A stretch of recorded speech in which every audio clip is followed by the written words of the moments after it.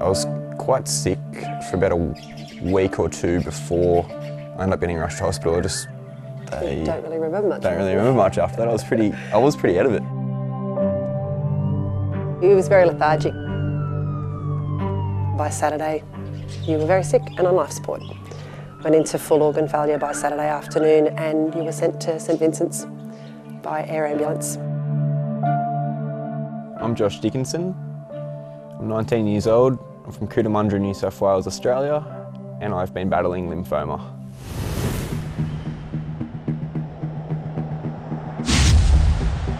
Receiving treatment for a life-threatening blood cancer is a logistical challenge when you live rurally. It takes us about four hours to get from Cootamundra to Sydney each time we come up. But that's nothing compared to the logistics required to get his life-saving treatment to Australia from overseas. We obviously knew COVID was going on and we weren't sure what was going to happen with getting it in from the borders. Josh needed a stem cell transplant and in a huge stroke of luck, a matching donor was found in Germany. I was over the moon really that, that they could do this and, and, and help me, help save my life.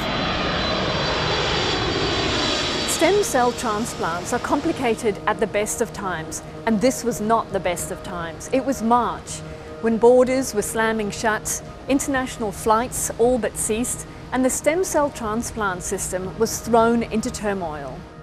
Yeah, it was, it was a scary sort of moment in your life because without the bone marrow transplant, I don't know what would have happened. It's a very harrowing and worrying time for everybody.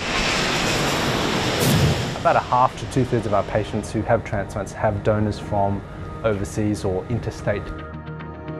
Australia has a diverse but small population, so donor matches for blood cancer patients are often found overseas.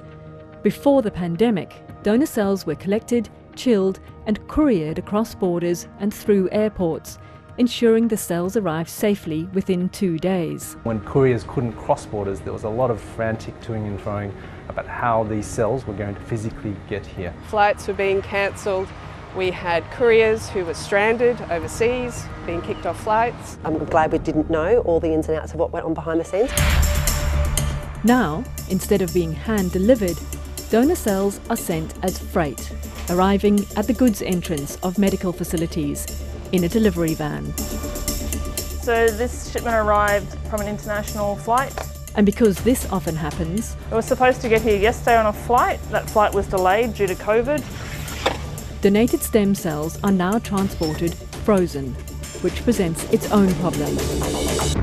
I felt sick because I thought this is it, it's finished.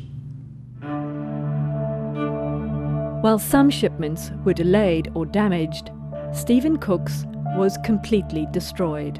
We found out the bag was dropped and, and the bag was split. I said, yeah, well, that, what's that mean? They said, we can't use it. One major crack here, and there's actually two cracks here. These bags are very fragile at minus 90 degrees Celsius. Unfortunately, if there's no packaging and these are closed, they can be shaken during transit and break. When we receive cells that are, that are not intact, it, it's quite devastating. Old man, what's going on? Luckily for Stephen Cook, his son was a half match and could step in as a donor. Very, very, very lucky. Anytime, Dad, I'd do it anytime for you. Yeah, I know. I know you would. Many blood cancer patients won't have a backup donor in their family, so as long as flights remain unpredictable, they're going to be reliant on foreign cells, frozen and freighted for a long time to come. Yeah, yeah, yeah. I'll, I'll do that another day. What would help is if more young men in Australia followed Corey's lead and registered as donors. The donors in our donor pool tend to be older and female, whereas we need the young, fit males in particular. Young because the cells are better quality and men because they tend to produce more cells. Getting them to join the registry in the first instance is the key challenge. The registry says it has funds to recruit 100,000 donors over five years, but is waiting for federal and state government approval to use it. That would certainly go a long way to mitigating some of these risks. It costs nothing to register. I am truly grateful for everything that he did to, to help me. and could help someone in their time of greatest need. If I didn't have the bone marrow transplant done, I, I wouldn't be here today.